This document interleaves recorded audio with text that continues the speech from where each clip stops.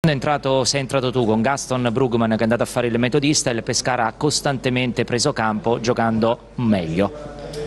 Ma ho cercato, quando, quando il mister mi ha chiamato in causa, ho cercato di dare del mio meglio, eh, probabilmente avevamo bisogno di un po' più diciamo, peso a livello, nel senso di magari inserimenti o comunque come dire, portare avanti la palla, e nel senso abbiamo fatto, secondo me da quando sono entrato io abbiamo fatto buone azioni,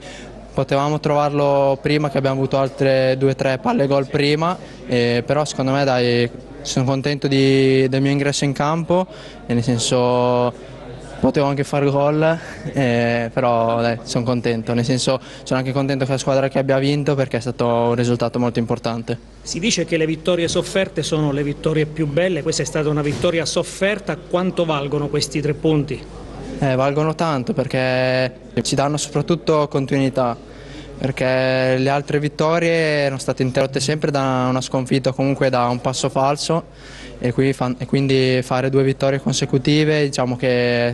è un passo molto importante, ci dà secondo me anche mm, come dire, a noi più fiducia, più consapevolezza magari. E nel senso magari ora affronteremo anche le altre partite magari anche dall'inizio subito non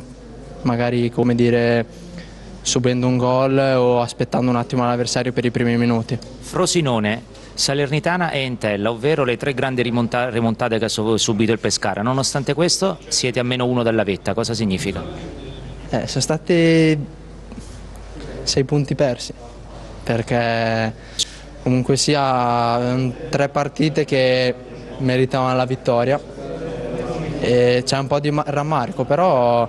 Secondo me se siamo là in alto vuol dire che siamo forti, comunque ci possiamo stare perché comunque sia, anche se magari abbiamo avuto non un inizio con continuità, però essere là in alto vuol dire che ci possiamo stare